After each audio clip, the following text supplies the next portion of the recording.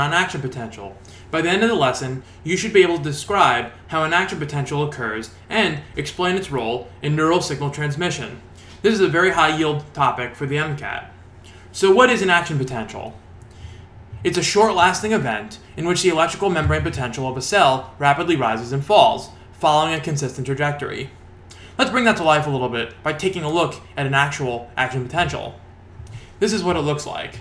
In this lesson, we're going to go through each part and deconstruct it and talk about the molecular events that lead to this trace here on this graph. So, let's first orient ourselves. On the left here, I have a graph of membrane potential to time. This is the kind of graph that you could get from an electrophysiology recording, which is showing you the electrical activity of the neuron. On the right, we have a diagram of the ion channels that are involved in creating the action potential. The state of the ion channels that you see here and the electrical graph correspond to each other. In other words, these are two different ways of viewing the action potential. For the MCAT, you need to understand both the electrical graph and the corresponding ionic events. So let's first look at the graph. We're beginning at rest, at the resting membrane potential, which is negative 70 millivolts in a neuron. You should be familiar with this from our last lesson on membrane potential. Let's now look at the ion channels. The purple ion channels are called voltage-gated sodium channels. The voltage part means that the channels open in response to changes in membrane potential. The gated part, well, means there are gates. In particular, there's an activation gate here that at rest is closed and it prevents the influx of sodium. There's also this second pink gate here called the inactivation gate, which is responsible for closing the sodium channel during the height of the action potential. It's open at rest, but that doesn't really matter because if the activation gate is closed, no sodium can get through. Here we have a voltage-gated potassium channel, and like the sodium channel, it opens in response to changes in membrane potential. However, it only has one gate that is either open or closed. At rest, it's closed, which, as you can see, prevents the efflux of potassium. It keeps it all inside the cell. So let's talk about how these channels open. The voltage-gated sodium channel opens when the membrane depolarizes to threshold. Hang on to these two terms because we're going to talk more about them in a second. The potassium channels, like the sodium channels, are also opened by depolarization, but they open later, after the sodium channels have already opened and the peak of the action potential has been reached. So let's back up and talk about these two terms for a second, depolarization and threshold. To depolarize means to make more positive. Make what more positive? The membrane potential. So depolarization is to make the membrane potential more positive.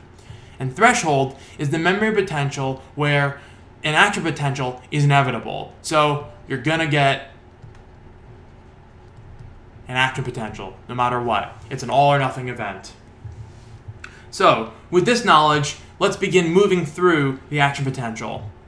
We're starting at rest, and if we look at the channels, the sodium channel's closed and the potassium channel's closed.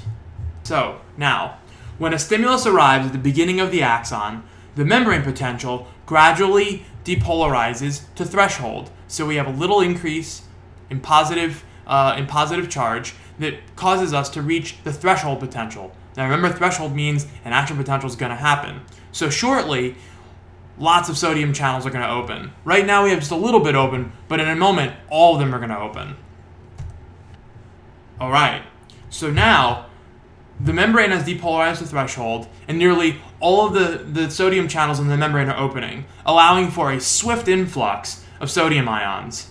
Sodium moves from the outside to the inside because of its concentration gradient, is, uh, and, and this causes the inward flow of positive charge.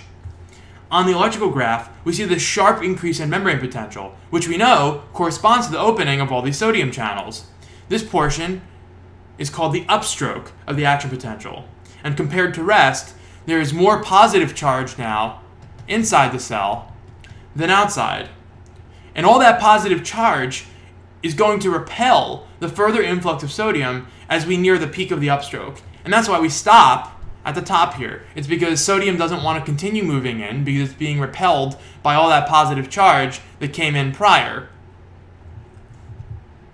But what goes up must come down. And so we arrive at the downstroke of the action potential. We can see the ion changes, uh, we can see the changes in the ion channels that are responsible for this phase. The activation gates of the sodium channel have closed, blocking the further influx of sodium. And importantly, the potassium channel's gate has opened, allowing for the swift efflux of potassium. It's this outward flow that causes repolarization of the membrane potential. It effectively reverses the upstroke. But the repolarization gets a little aggressive and it, and it drives right past the membrane potential. It kept going and got more negative than the resting membrane potential. And so, this section is called the undershoot. It shoots under the resting membrane potential. And the process that got us here is called hyperpolarization. Hyperpolarization is the process whereby we make the membrane more negative than at rest. So this is in contrast to depolarization and repolarization. Looking at our ion channels, we can see why this is so. Both gates of the sodium channel are closed, but the potassium gate is still open, and it allows for the further efflux of potassium. So more potassium can flow outward, which brings us even more negative.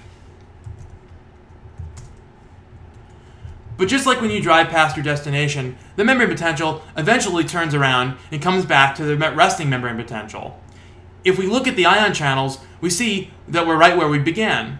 The inactivation gate of the sodium channel has reset, and the inactivation gate, of, or the activation gate of the sodium channel has closed, preventing more influx of sodium.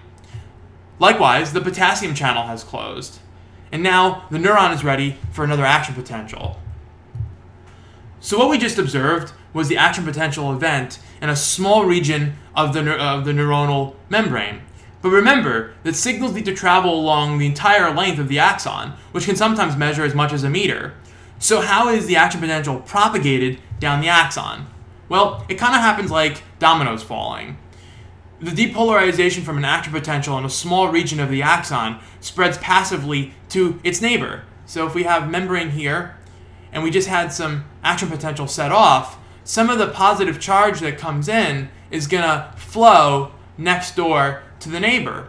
And that flow is going to set off another action potential in that neighboring region because it's going to depolarize to threshold.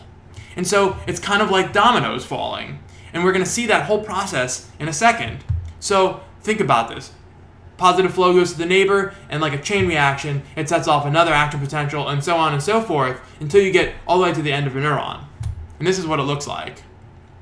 You can see that it marches down the axon, causing a, a chain of action potentials that eventually terminates at the, uh, at the terminal of, of the neuron. And so that completes our discussion of the action potential. In the next lesson, we'll talk about neurotransmission, how the information gets from the action potential in one neuron to another.